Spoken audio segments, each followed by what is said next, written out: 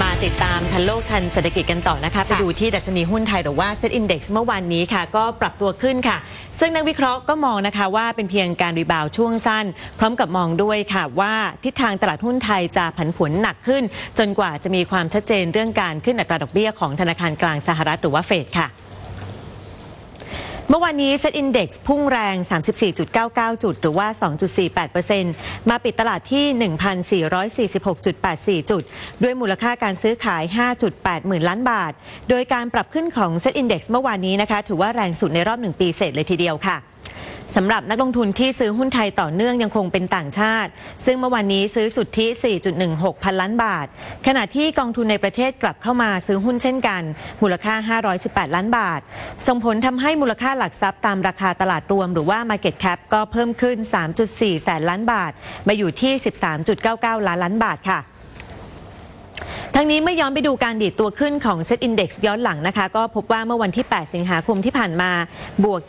23.57 จุด วันที่ 15 กุมภาพันธ์ 2559 บวก 25.60 จุด วันที่ 15 ธันวาคม 2558 บวก 32.90 จุด และวันที่ 27 สิงหาคม 2558 บวกแรงสุดถึง 37.95 จุดค่ะ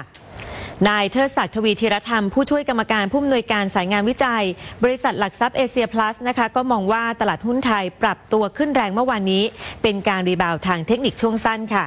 ซึ่งโดยภาพรวมแล้วตลาดก็ยังคงมีทิศทางผันผวน จากความกังวลเรื่องอัตราดอกเบี้ยของเฟดและเข้าสู่ช่วงเงียบของเฟดที่ห้ามการแสดงความคิดเห็นเรื่องดอกเบี้ย จนกว่าการประชุมจะเสร็จสิ้นด้วย ยิ่งก็ทำให้ตลาดผันผวนมากขึ้น อย่างไรก็ตามมองว่าเซ็ตอินดี x ที่เคลื่อนไหวอยู่ในระดับ 1,450 จุด หรือต่ำลงมา เป็นระดับที่บ่งชี้ราคาหุ้นไม่แพงมากแล้ว ดังนั้นสำหรับนักลงทุนที่ยังไม่ได้ซื้อหุ้น ก็อาจทยอยซื้อได้ 20-30%ของเงินลงทุนที่เตรียมไว้ โดยเน้นหุ้นที่จ่ายปันผลสูงเป็นหลักสำหรับวันนี้นะคะคาดว่าหุ้นไทยจะปรับลงตามทิศทางตลาดหุ้นต่างประเทศ โดยมีแนวรับที่ 1,430 ส่วนแนวต้านอยู่ที่ 1,455 จุด ด้านนายธนเดชรังสีธนานนท์ผู้อำนวยการอาวุโสบริษัท RHB ประเทศไทยก็ระบุค่ะ ว่าหุ้นไทยวันนี้จะผันผวนในทิศทางขาลง หลังจากที่ตลาดหุ้นสหรัฐปรับตัวลงแรงเมื่อคืนนี้ จากความเสี่ยงเรื่องดอกเบี้ยของเฟดที่มีแนวโน้มว่าจะปรับขึ้นในระยะอันใกล้นี้ทำให้ตลาดหุ้นทั่วโลกเปราะบางมากขึ้นค่ะ รวมไปถึงตลาดหุ้นไทยก็จะแกว่งตัวผันผวนไปจนกว่าจะมีความชัดเจน ตลาดหุ้นสหรัฐในช่วงหลายวันมานี้นะคะแกว่งตัวผันผวนมาก เมื่อคืนก็ดิ่งลง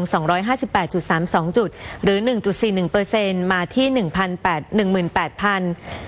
66.75 จุดค่ะ หลังจากที่วันก่อนหน้าพุ่งขึ้นแรงเกือบ 400 จุด ขณะที่นักลงทุนทั่วโลกกำลังจับตาการประชุมของเฟดที่จะมีขึ้นในวันที่ 20-21 กันยายนนี้ค่ะ